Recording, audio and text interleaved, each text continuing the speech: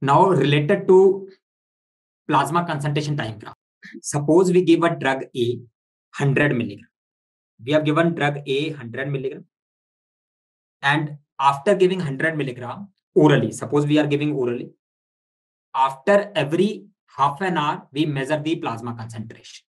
Okay. After every half an hour, we measure the plasma concentration and then we plot a graph. So which type of graph comes? So when we are giving orally, initially the plasma concentration will start increasing because absorption will take time. So plasma concentration will start increasing, increasing, increasing, increasing. It become maximum.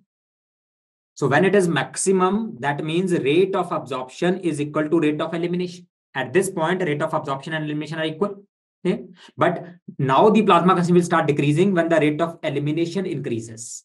Rate of elimination become more than absorption, plasma concentration will start decreasing. Is it clear? So now from this graph, we can obtain three important parameters. The first is this highest point on the graph. If we extrapolate it on y-axis, this is known as Cmax. So Cmax simply means, so we have plotted a graph, we have given a drug orally, and we have measured the plasma concentration after every fixed time.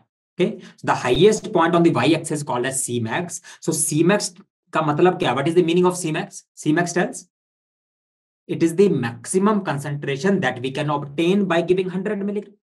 100 milligram देने पे जितनी भी maximum concentration आएगी that is called as Cmax. Okay. On the other hand, if we extrapolate it on x-axis, this point is called as a Tmax.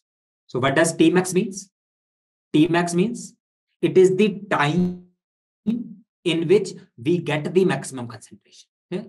चल देखो, Cmax का मतलब है maximum concentration we can obtain way giving that dose and Tmax means in how much time we reach the maximum concentration in simple language Tmax will be lower if absorption is quick अगर जल्दी absorb हो जाएगा तो Tmax will be lesser because the drug will reach the maximum concentration quickly clear so Tmax tells about rate of absorption Tmax tells about rate of absorption Tmax rate of absorption बताता है Whereas Cmax tells the maximum concentration that we can reach with that dose. So obviously Cmax will depend upon dose.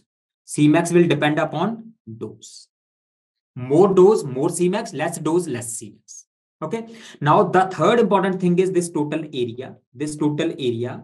This is known as area under the curve, AUC area under the curve and this tells how much total drug has come into the body so this is telling about extent of drug absorption so read very carefully in the mcqs these are the questions asked which parameters tells about rate of absorption which parameter tells about extent of absorption सिर्फ इतना सा word है I keep on telling again and again कि आपको MCQ बहुत ध्यान से पढ़ना है। एमसीक्यू में कुछ भी कॉमा का भी डिफरेंस आ जाए तो आंसर चेंज हो जाता है। So I told you the example everyone must be knowing 100 times मैंने बता चुका हूँ पूजा के बारे में clear so that is important to understand so plasma concentration time graph में यही क्वेश्चन आता है। चलो it's working okay so that is plasma concentration time graph